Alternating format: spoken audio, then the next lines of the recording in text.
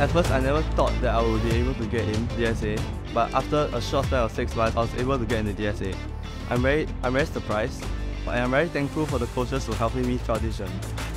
我非常满意，呃，旭恒通过这次半年的训练，啊，取得了好的成绩，拿到了 DIC 他的预期的学校，呃，非常感谢呃教练的指导，呃，我们很庆幸，呃，遇到这么好的教练。 After the six months, I went for a DSA trial and I surprisingly got in, which is very shocking because at first I did not know how to play basketball, so I was very thankful for the coach for the help that he has given me throughout this journey.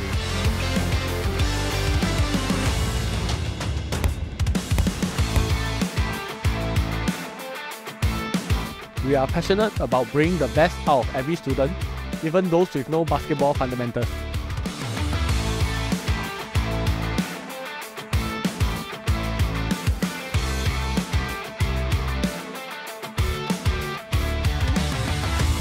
With our complete basketballer roadmap, every student knows clearly how they will progress when they join us.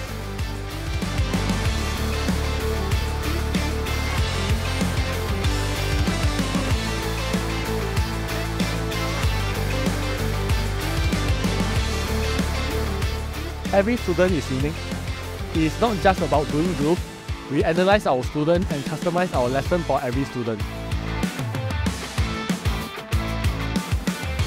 We focus a lot on developing strong values and a positive mindset in our students. Because we know that will build their character and set them up for success not just in basketball but also in life.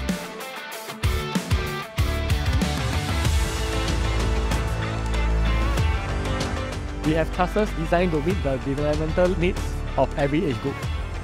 Contact us now for trial lessons. When I start basketball, I was actually very discouraged and I didn't actually uh, see that I had the potential to play basketball because of my height and I was actually the shortest in in the whole team. He actually motivated me that saying uh, basketball is not only about height itself but it's about the skills that I, I can pull, I can like be better in agility wise or speed wise and that really motivated me to do my do my best. I can see that uh, my daughter is better in her time management and, and she actually manages her stuff uh, well, uh, basketball as well as academic. And this I really owe it to the coach uh, for, for nurturing my kid in the right direction.